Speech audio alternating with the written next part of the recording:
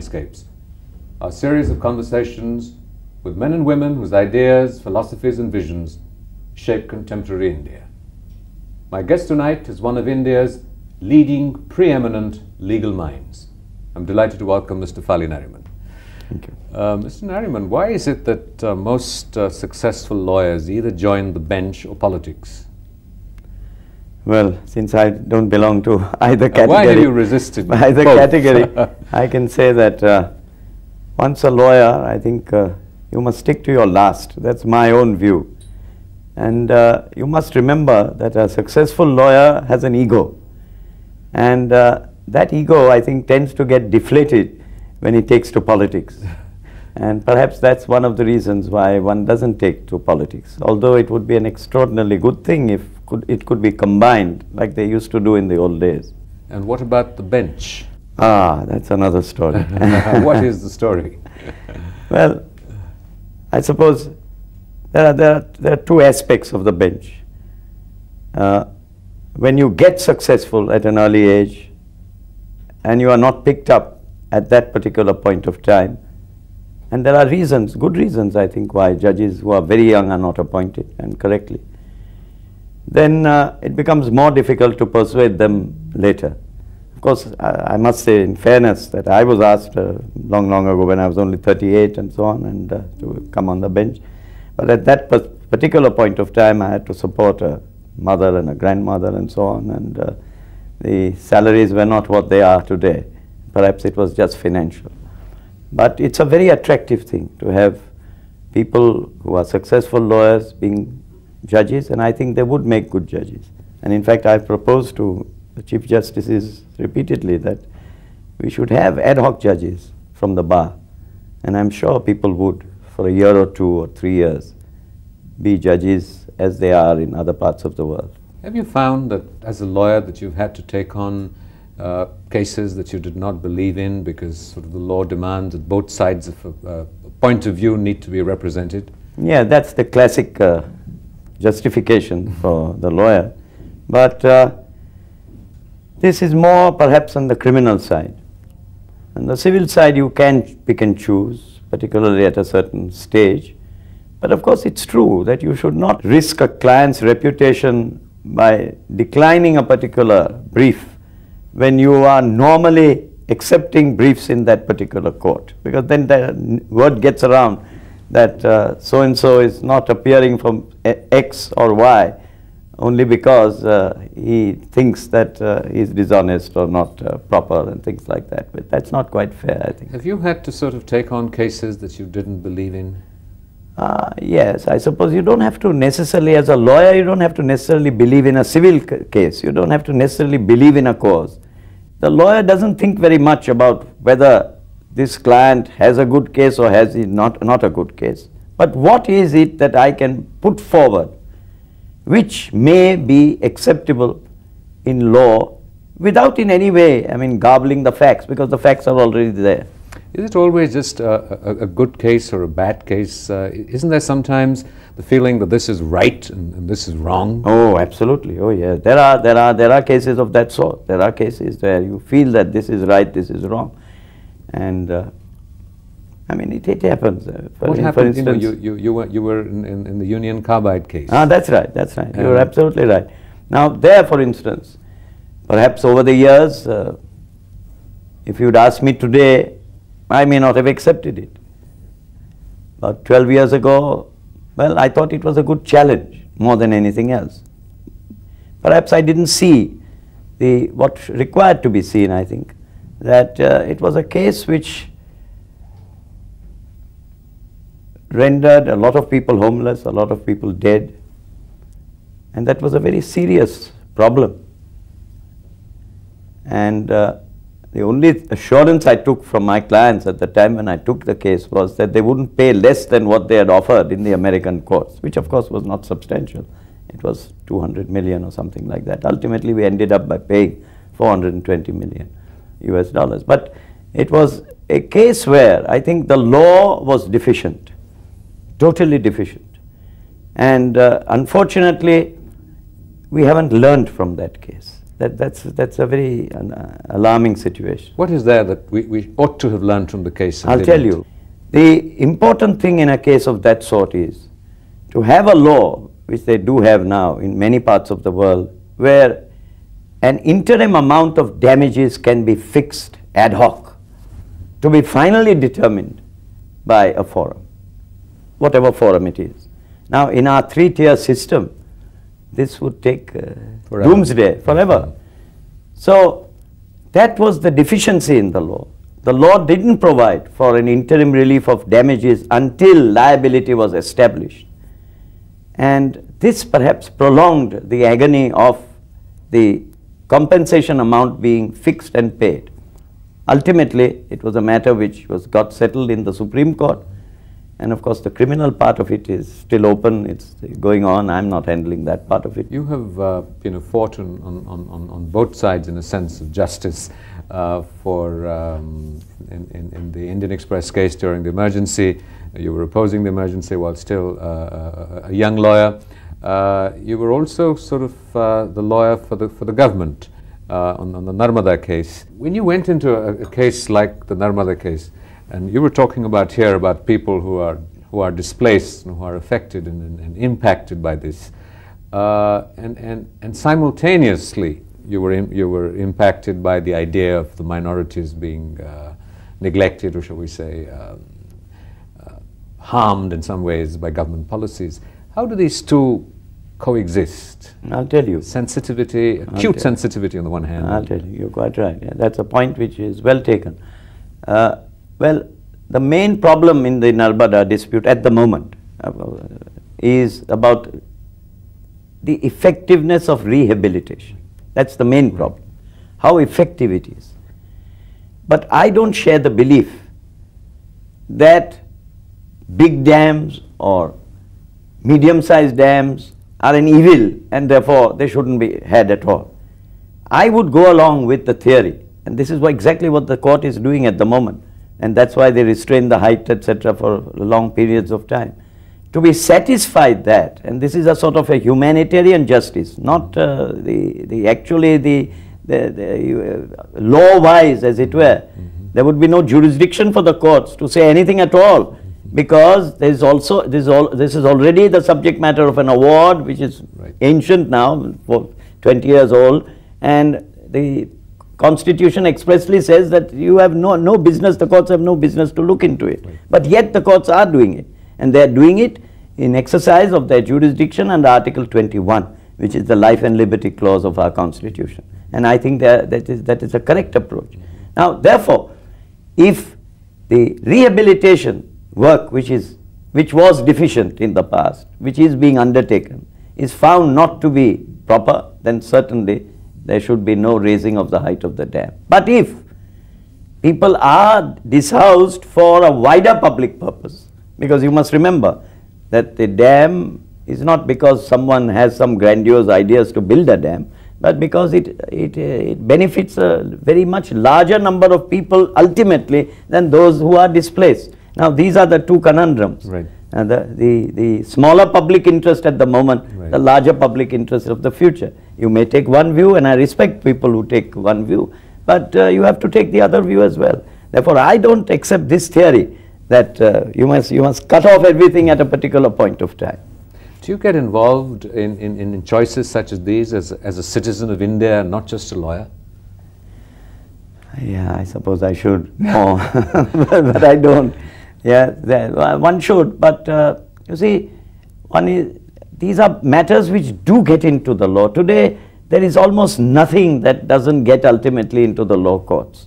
People are so, I won't say frustrated, but they are so conscious of their rights, and very correctly too, that I don't share the view that the courts are breaking down or the system is breaking down. On the contrary, I think the more people go into courts, doesn't matter if they get cluttered up, it's our job to see that they don't get cluttered up.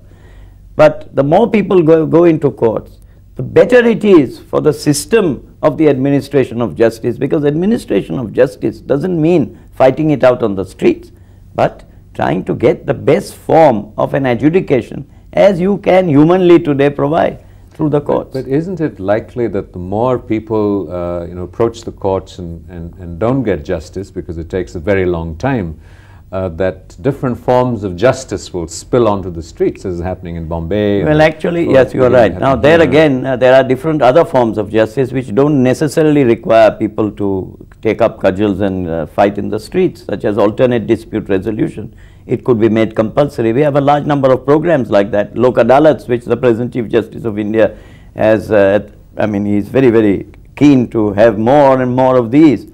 But in an enormous continent like ours, with a population seething with not only with numbers but seething also with discontent and in very large sections are very poor, uh, there has to be perhaps a different approach to the administration of justice. Some judges like Krishna, Bhagwati, etc., they provided that approach and that's been working like the public interest litigation, which uh, we have found quite effective except that you have the odd person who in the na name of public interest litigation goes in for a private interest litigation for somebody else's private interest, not his own.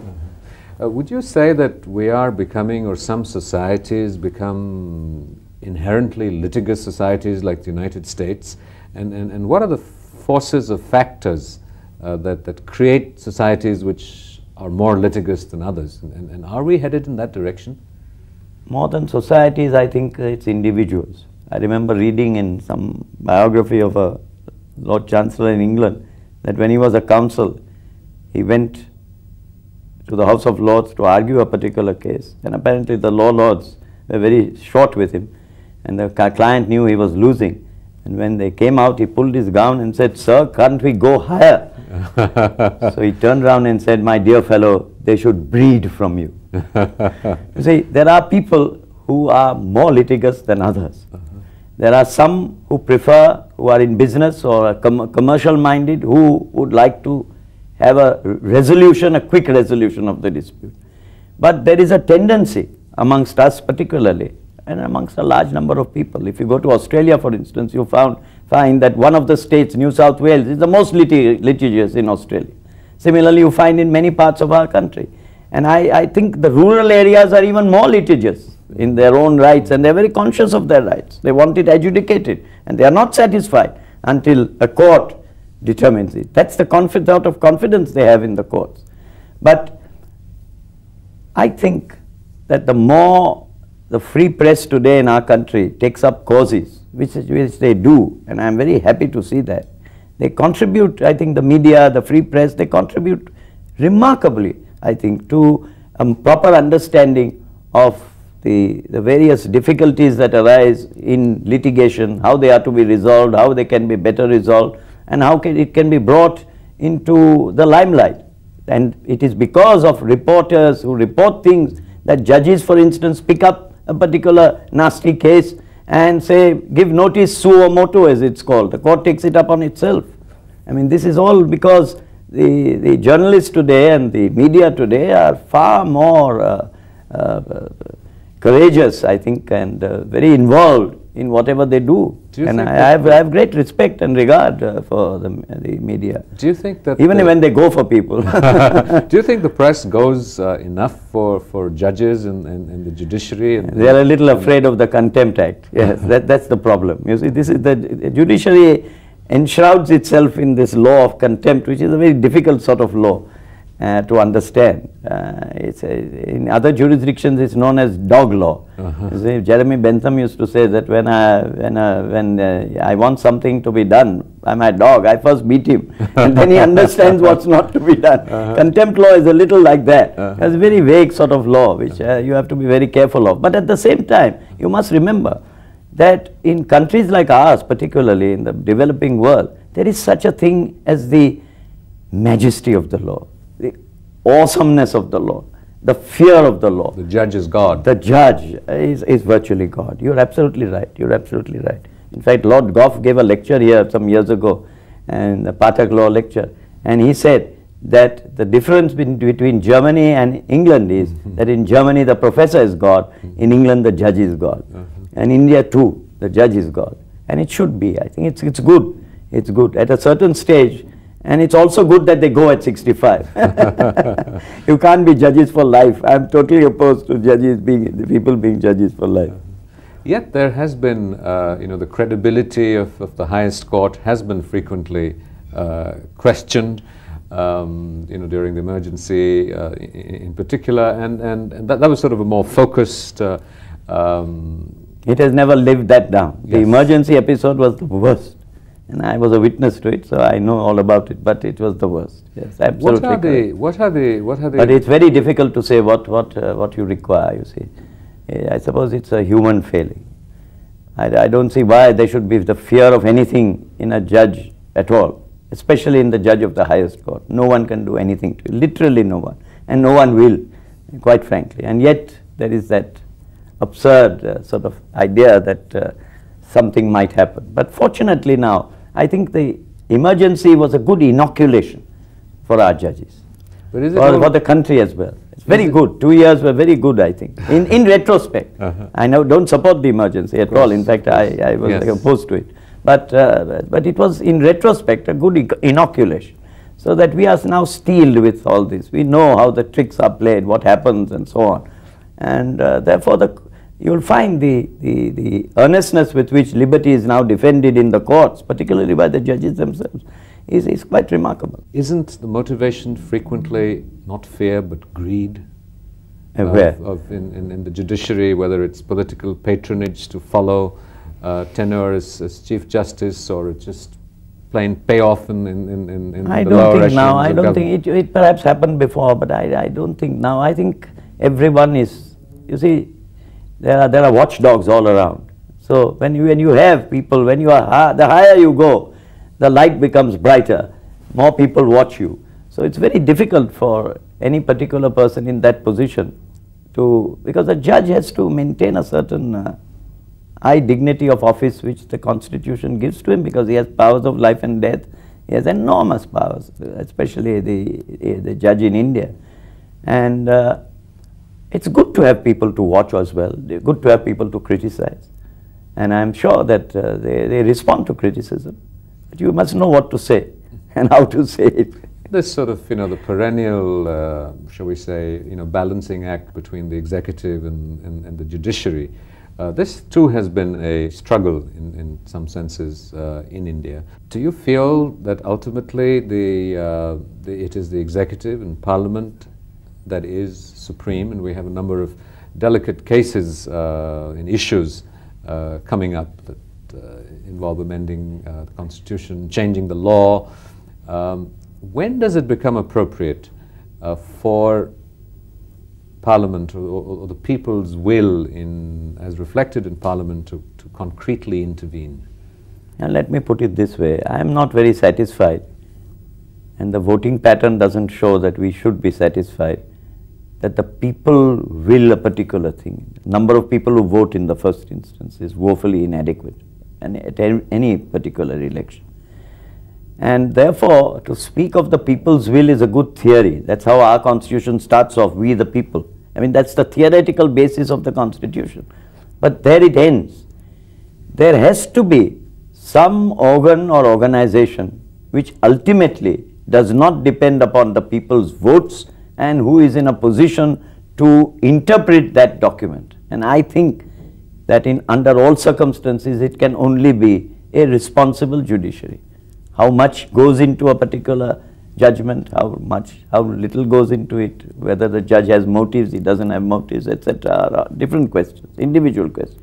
But in the in the in the, the I don't think we have yet conceived of a pattern of government where the judiciary does not have a say in most things that matter. It's all over the world you find it. This judicial activism that people are speaking of in this country, it's not only here. You, you look at the United Kingdom, you look at all the courts in the, around the world and you find that more and more are judges taking up various causes which they would not do so many years ago only because the pressures on the politician not to take up that cause are far greater today. Therefore, an, an individual who doesn't depend upon the vote is more likely to do justice or take up cudgels for a particular section which needs to be protected. Take minorities for instance. Minorities in my opinion do need to be protected. Our framers of the constitution said they should be protected. But then the protection that you will ultimately get is the protection that's meted out by the highest court. There's no other way in which that can be done. But we have, uh, you know, uh, frequently seen that, um, you know, that, that, that, that, the court tends to, as happened in the Ayodhya case, seem to hedge a position. Yes, that does happen. And uh, perhaps we learn from the experience because it, it was. You see, these earth-shaking cases sometimes do produce bad law. It was the emergency case which uh, produced very bad law. The ADM Jabalpur case is a, is a decision which never will live down. But I, I always remind the judges of, of it so that they never forget mm -hmm. and so that we don't repeat it mm -hmm. at any rate. But uh, that's, uh, that's uh, a problem where I think uh, it depends on our own, uh, our own uh, ways of looking at things, our own ethos.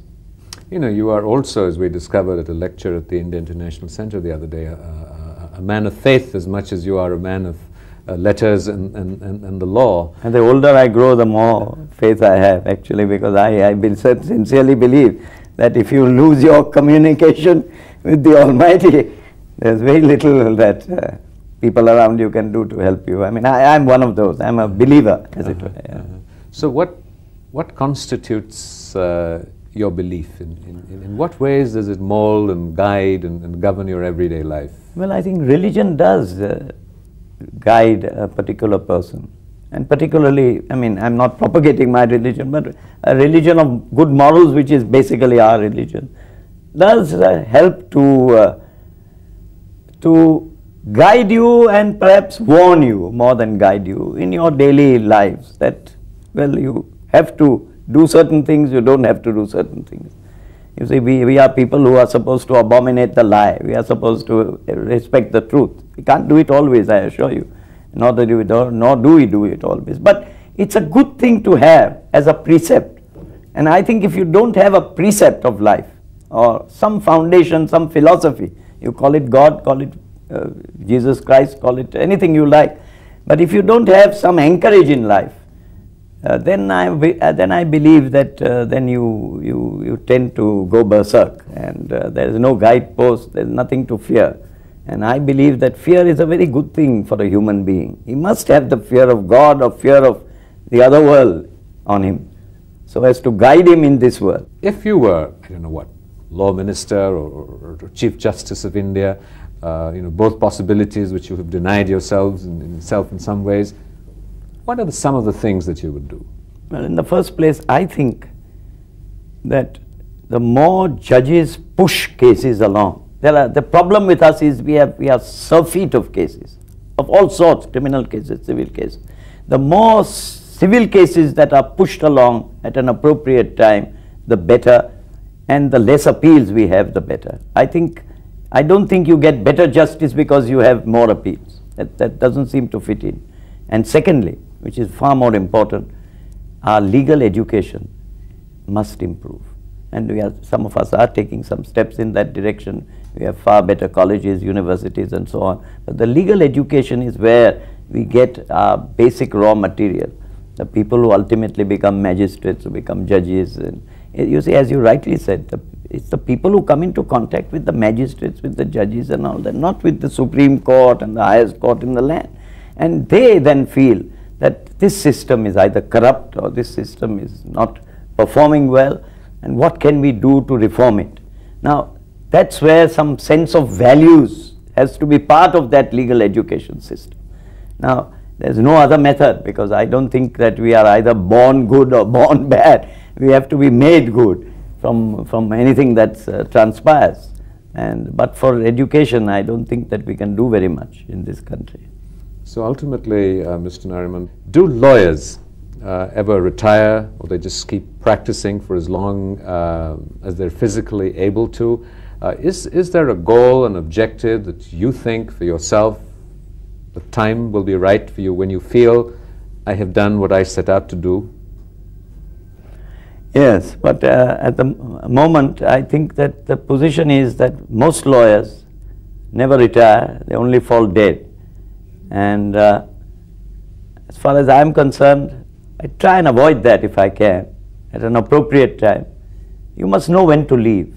I think it's in every form of activity, in every office that you hold.